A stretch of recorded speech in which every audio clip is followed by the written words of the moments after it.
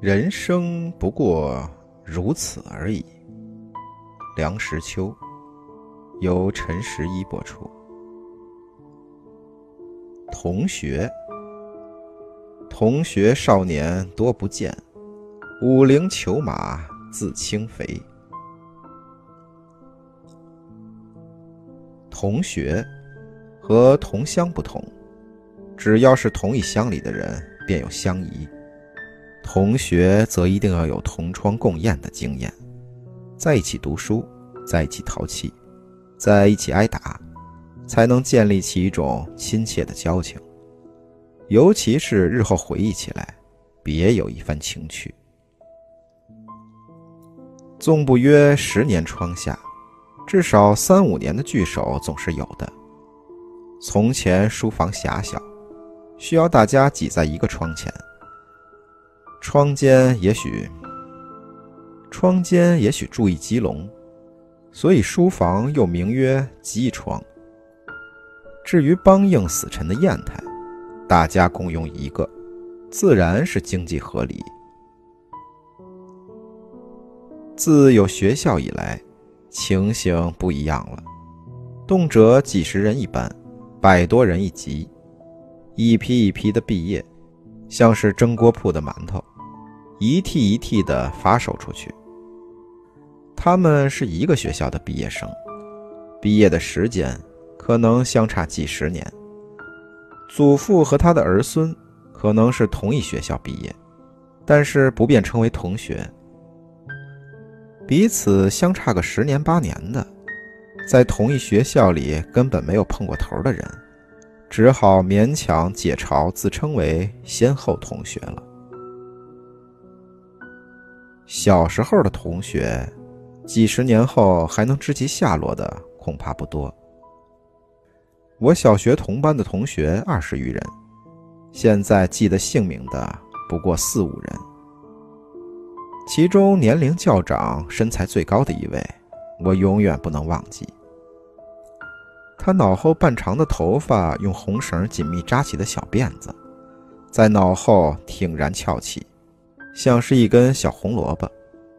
他善吹喇叭，毕业后投步兵统领门当兵，在堆子前面站岗，拄着上刺刀的步枪，蛮神气的。有一位满脸疙瘩啰嗦，大家送他一个绰号“小炸丸子”。人缘不好，偏爱惹事。有一天犯了众怒，几个人把他抬上讲台，按住了手脚，扯开他的裤带，每个人在他裤裆里吐一口唾液。我目睹这惊人的暴行，难过了很久。又有一位好奇心强，见了什么东西都喜欢动手。有一天迟到。见了老师为实验冷缩热胀的原理刚烧过的一只铁球，过去一把抓起，大叫一声，手掌烫出一片溜浆大泡。功课最好、写字最工整的一位，规行矩步，主任老师最赏识他。毕业后与某大书店分行，由学徒做到经理。再有一位。由办事员做到某部司长，此外则人海茫茫，我就都不知所终了。有人成年之后怕看到小时候的同学，因为他可能见过你一脖子泥，鼻涕流过河往袖子上抹的那副脏相；他也许看见过你被罚站、打手板的那副窘相。他知道你最怕人知道你的乳名，不是大和尚就是二秃子，不是栓子就是大柱子。他会冷不防地在大庭广众之中猛喊你的乳名，使你脸红。不过我觉得这也没什么不好。小时嬉嬉闹闹，天真率直，那一段纯挚的光景，已一去而不可复得。如果长大之后还能邂逅一两个总觉之交，勾起同时的回忆，不也快慰生平吗？我进了中学便住校，一住八年。同学之中有不少很要好的，友谊保持了数十年不坠；也有因故翻了脸、扭过脖子的。大多数只在我心中留下一个面貌请慨的影子。我那一级同学有八九十人，经过八年时间的淘汰过滤，毕业时仅得六七十人，而我现在记得姓名的约六十人，其中有早夭的，有因为一时糊涂顺手牵羊而被开除的，也有不知什么缘故忽然辍学的，而这剩下的一批，毕业之后多年来天各一方。大概是动如参与商了。我三十八年来台湾，属同级的同学得十余人，我们还不时的杯酒聊欢，恰满一桌。席间无所不谈，谈起有一位绰号烧饼，因为他的头扁而圆，取其形似。在体育馆中，他翻双杠，不慎跌落，旁边人就有人高呼：“留神，芝麻掉了。”烧饼早已不在，不死于抗战之时，而死于胜利之日；不死于敌人之手，而死于同袍之刀。谈起来，大家无不唏嘘。又谈起一位绰号“臭豆腐”，只因他上作文课时。卷子上涂抹之处太多，东一团西一块的，尽是墨珠。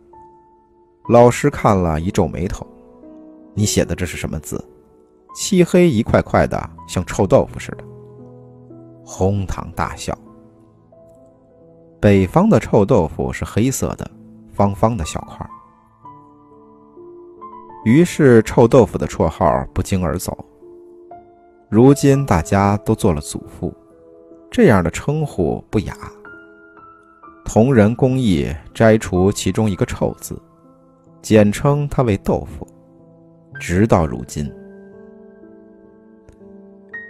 还有一位绰号叫“火车头”，因为他性偏激，出语如连珠炮，气咻咻，唾沫飞溅，做事横冲直撞，勇猛向前，所以赢得这样一个绰号。